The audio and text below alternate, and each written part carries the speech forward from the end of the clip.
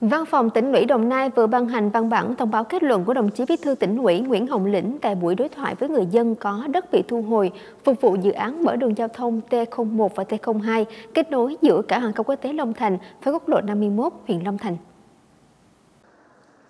Theo đó, đồng chí Nguyễn Hồng Lĩnh, Bí thư tỉnh ủy Đồng Nai đề nghị Ban cán sự Đảng Ủy ban nhân dân tỉnh chỉ đạo các cơ quan đơn vị phải thông tin đầy đủ, công khai, minh bạch nội dung liên quan đến bồi thường, hỗ trợ, tái định cư để người dân hiểu rõ các chính sách để cùng đồng lòng trong thực hiện. Bên cạnh đó, cả hệ thống chính trị từ tỉnh đến cơ sở phải tập trung thực hiện mục tiêu bàn giao mặt bằng, đảm bảo đúng tiến độ.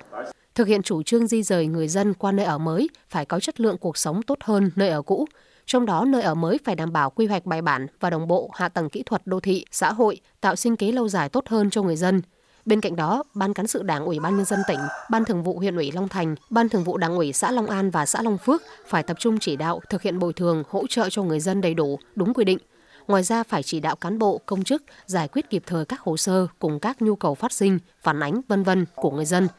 Bí thư tỉnh ủy cũng đề nghị Mặt trận Tổ quốc và các tổ chức chính trị xã hội từ tỉnh đến cơ sở phải vận động đoàn viên, hội viên, nhân dân trên địa bàn và người dân có đất bị thu hồi phục vụ dự án mở đường giao thông T1, T2, ủng hộ đồng tình cùng với chính quyền thực hiện bàn giao đất để thực hiện dự án theo tiến độ đề ra. Cụ thể tuyến đường T1 hoàn thành việc giao đất vào cuối tháng 5 và đường T2 giao đất cuối tháng 6 2023.